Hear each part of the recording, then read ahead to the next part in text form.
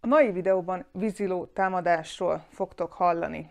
És nem egy turistát támadott meg ez a víziló, hanem a gondozóját, a nevelőjét, direkt nem a gazdáját használom, nem ezt a szót, hiszen aki felnevelte ezt a vízilovat, egy nagyon erős kötődés volt a kettejük között. Legalábbis a férfi úgy gondolta, hát a víziló már annyira nem.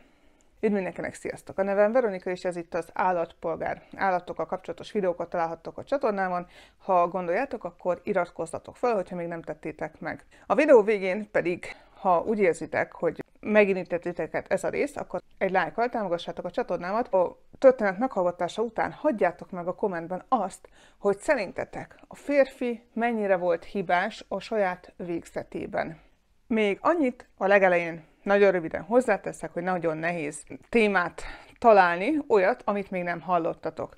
Ezt az ügyet is, esetet is elkezdtem átnézni, amikor is észrevettem, hogy egy nagyobb YouTube csatorna már ezt kidolgozta, rengeteg megnézettsége volt, de én meg úgy voltam vele, hogy ha már elkezdtem, akkor végig is viszem. A mai részt Marius S. farmerról és az ő általa örökbefogadott vízilóról fog szólni. Az ő kapcsolatukról, és hogy a férfi hogyan rohant bele a vesztébe. Marius S. a hadseregnél dolgozott, őrnagy volt, majd miután otthagyta a hadsereget, farmerkedni kezdett. Egy szarvasmarha farmja volt. Hatalmas területet birtokolt, 400 hektáros területe volt. Volt egy árvíz, és ő mentett, és talált is egy picike állatot. A pici vízilóvat. Ő volt Humphrey, legalábbis ez így nevezte őt el és nem csak kimentette, hanem úgy volt vele, hogy ennek a vízilónak kell egy biztonságos hely. Valószínűleg nem voltak már meg a víziló szülei családja, ezért vitte haza ezt. Bár az is lehet, hogy csak úgy volt vele, hogy itt egy pici állat, akkor majd ő felneveli, hiszen ő hitt abban, hogy bármilyen vadállatot meg lehet szelídíteni, hogyha szeretettel veszed körbe, és te neveled már a kiskora óta. Lehet köteléket kialakítani, de nagyon sokan elfelejtik, hogy, hogy az állatnak megvan az ösztöne, amit nem tud elnyomni. Ugyanezt történt a legelső videóban, amit felraktam erre a csatornára. Ugye volt Mo és Travis esete, két csimpánzról beszélünk, és az egyik csimpánz akárhogy is az emberek nevelték, ő ellenük fordult. Nem is közvetlenül a nevelők ellen, de egy olyan ember ellen, akit ismert. De kijött a természete, nem is úgy nevelték pontosan, hogy kellett volna azt a csimpánzt, úgyhogy nagyon-nagyon nehéz eltalálni azt a határvonalat, hogy mi az, amikor még te neveled, és te irányítod az állatot, vagy előjön az ösztöne.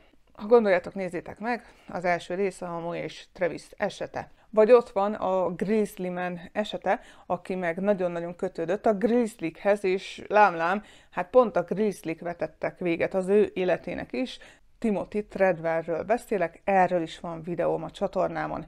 Nézzetek körül, ha gondoljátok. Máriusz Elsztről mit kell tudni? Ugye elkezdte nevelni az állatot, 400 hektáron tudott neki elkeríteni egy kis részt, sőt még tavat is biztosított az állatnak, hogy minél jobban otthon érezze magát. A férfi szerette az exotikus állatokat, volt már neki egy zsiráf is otthon, meg egy orszarvú. Gondolta, akkor a víziló is elfér. Ahogy nőtt Humphrey, úgy kezdődtek a problémák. Amúgy 1,2 tonnásra nőtt az állat. De amikor még csak elkezdett nőni, akkor még Marius jó poénnak tartotta, hogy meglovagolja a vízilovat. Úgy bánt vele, vagy hát úgy ült rá, mint egy pónilóra. Eleinte még Humphrey ezt hagyta is, amíg ugye nem jött belőle elő a saját akarata, az ösztöne, de aztán egyre többször dobta le a hátáról Máriuszt. A férfi meg úgy gondolta, hogy csak be kell törni, vagy majd megszokja, nem is értem, de ha ledobnak többször, akkor fel kellett volna a férfinak is fogni, hogy hát a víziló talán ezt nem akarja, és ha kötődést akarsz képíteni, az azt jelenti, hogy szereted. Ha szereted, akkor pedig nem veszed rá olyanra, amit ő nem akar.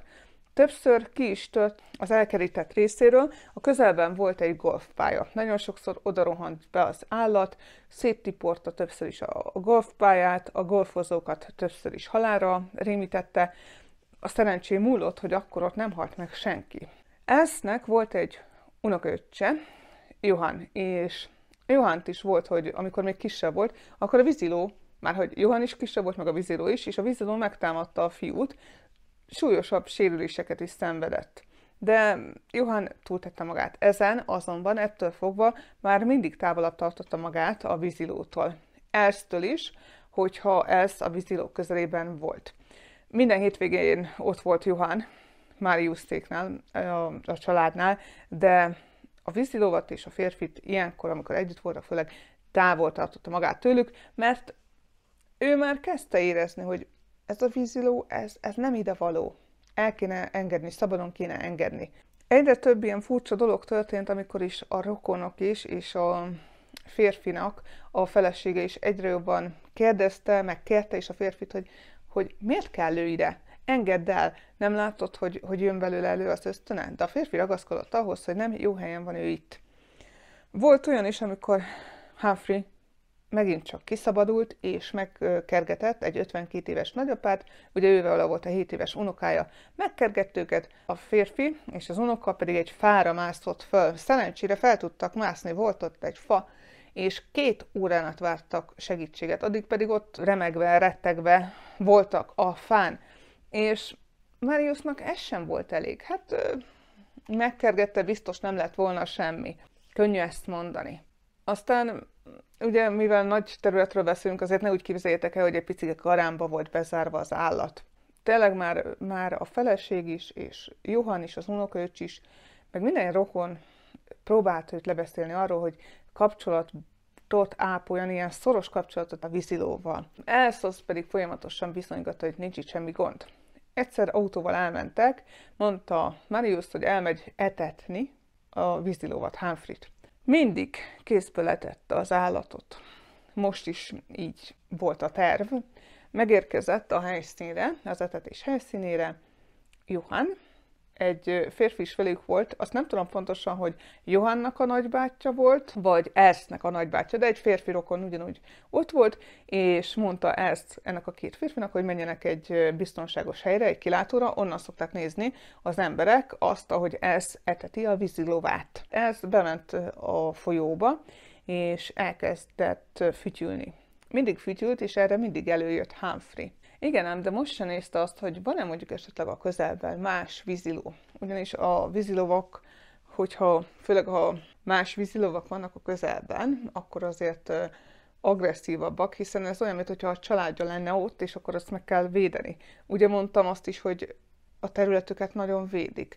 És amúgy már Johannék is érezték, amikor már megérkeztek, hogy Humphrey most valahogy nem úgy viselkedik, nem úgy van a vízben, ahogy szokott, valami, valami más. Amikor elkezdett elsz fütyülni Humphreynak, hogy jön ki a vízből, akkor a víziló füle hátrafele volt. Nagyon ráfeszült úgy a feje, fejére, vagy feje felé, és ez az agresszivitásnak a jele. Ingerült volt. Tehát ő valószínű veszélyeztetve érezte a, vagy a családját, a víziló családját, vagy a területét elszel szemben. És még itt hozzáteszem, hogy ugye a vízilovak nem nem egy cuki állatok. A mesékben mindig így jelenítik meg őket, de nem azok. Több embert ölnek meg évente, pedig növényevők, több embert ölnek meg évente, mint az oroszlán, a bivaj, vagy bármilyen más szárazföldi emlős. Ami veszélyesebb a vízilónál, az amúgy a szúnyog és az ember. A vízilvak körülbelül 500 embert ölnek meg évente, az ember 475 ezret, a szúnyogok meg 725 ezret. Az embereknél azért hozzá kell tenni, hogy ha nem a háborút számoljuk, hanem az egyes emberek ellen elkövetett támadásokat, csak amikor egyedül követel valaki valamit.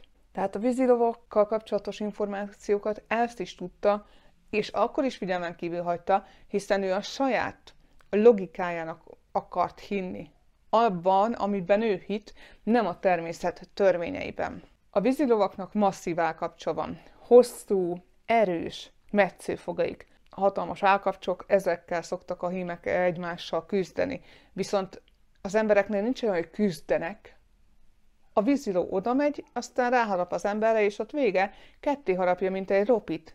Tehát ott, ott nagyon nincs mit küzdeni. Amúgy van egyről egy videóm szintén, amikor a víziló megtámadta egy embert. Nézzetek szét az oldalamon, meg be is linkelem majd a leírásba, hogy melyik videóra gondolok. Amúgy turistaként, ha véletlenül szembe találkoztok a vízilovakkal, főleg akkor, hogyha hátrafele van a fülük, vagy ha nagyon közel kerültök hozzájuk, és főleg, hogy csapatokban vannak, akkor egyetlen dolgot lehet tenni, hát az semmiképp, hogy közelebb mentek, megálltok, és elkezdtek távolabb menni, mert akkor látja, hogy ez a, a lehetséges fenyegetettség egyre jobban távolodik, és akkor talán a víziló nem fog támadni. Humphrey-nál, amikor ehhez hívta, az történt, hogy hátrafele voltak a fülei. Aztán ehhez belharapott az almába, amit vitt Humphreynak, és ekkor nem úgy jött, nem úgy indult el Humphrey, hogy szokott, amikor etetés van, hanem teljesen más testtartással ment ki a partra, megfeszülve, és nagyon gyorsan történt amúgy az egész,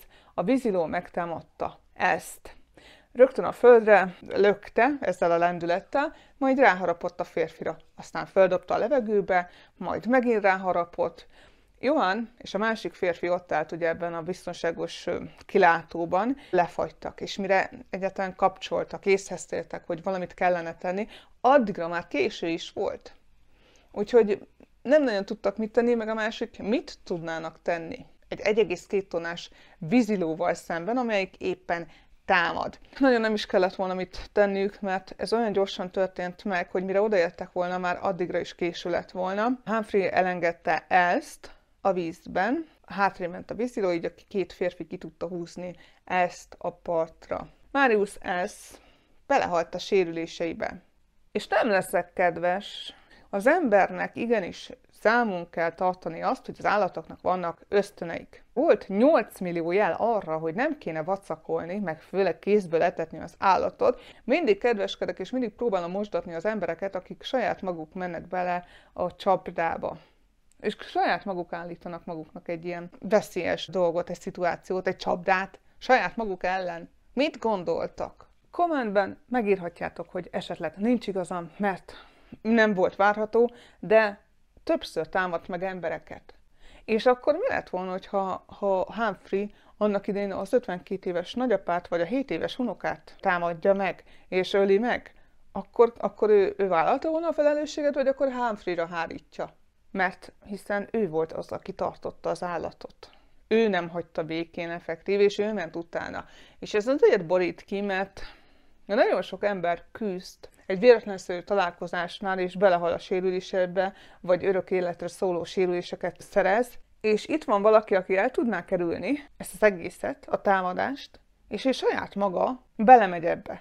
Ember életről beszélünk, igen, de van az emberi hülyesség, és az emberek egyre jobban tolják ki a határokat.